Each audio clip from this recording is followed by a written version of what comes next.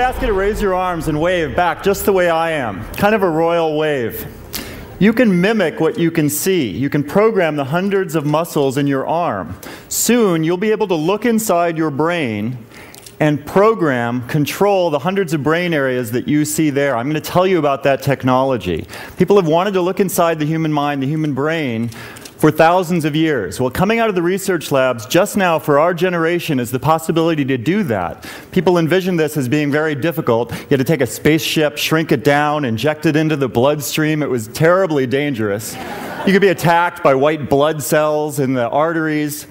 But now we have a real technology to do this. We're going to fly into my colleague Peter's brain. We're going to do it non invasively using MRI. We don't have to inject anything, we don't need radiation we will be able to fly into the anatomy of Peter's brain, literally fly into his body, but more importantly, we can look at his mind. When Peter moves his arm, that yellow spot you see there is the interface to the functioning of Peter's mind taking place. Now, you've seen before that with electrodes you can control robotic arms, that brain imaging and scanners can show you the insides of brains. What's new is that that process has typically taken days or months of analysis. We've collapsed that through technology to milliseconds, and that allows us to let Peter look at his brain in real time as he's inside the scanner. He can look at these 65,000 points of activation per second. If he can see this pattern in his own brain, he can learn how to control it.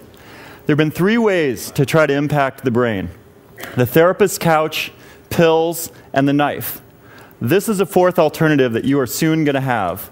We all know that as we form thoughts, they form deep channels in our minds and in our brains. Chronic pain is an example. If you burn yourself, you pull your hand away. But if you're still in pain in six months or six years' time, it's because these circuits are producing pain that's no longer helping you. If we can look at the activation in the brain that's producing the pain, we can form 3D models and watch in real time the brain process information, and then we can select the areas that produce the pain. So put your arms back up and flex your bicep.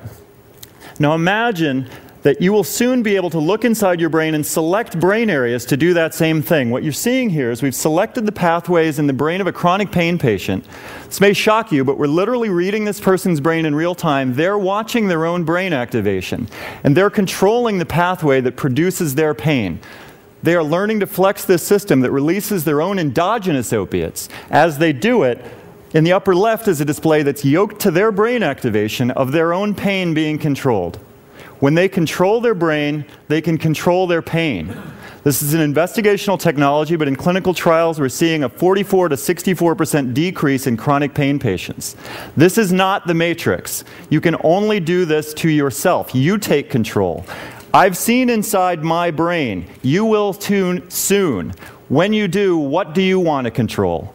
you will be able to look at all the aspects that make you yourself, all your experiences. These are some of the areas that we're working on today that I don't have time to go into in detail. But I want to leave with you the big question. We are the first generation that's going to be able to enter into, using this technology, the human mind and brain. Where will we take it?